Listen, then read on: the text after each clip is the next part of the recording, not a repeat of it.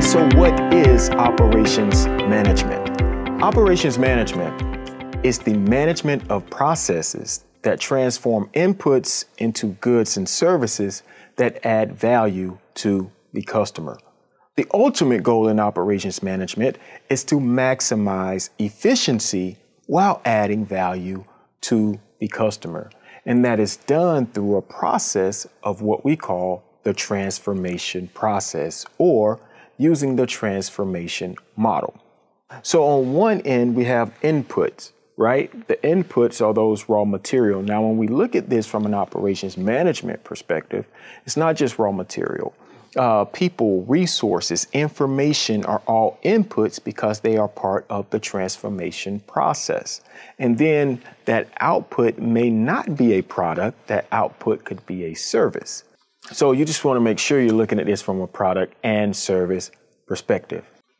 So, in layman's terms, operations management is really about managing the processes of everything that takes place when you're transforming raw material when we're referring to a product, going through that transformation process, and then coming out with that end product.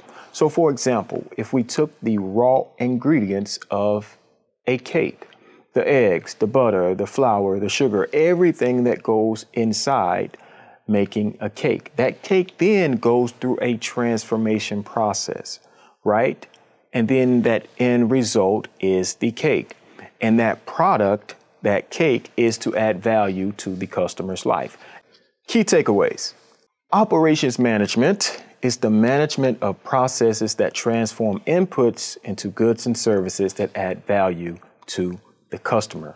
However, the goal is to maximize efficiency while adding value to the customer and that is usually done through the transformation process or using the transformational model in which we take inputs, transform those inputs to generate outputs.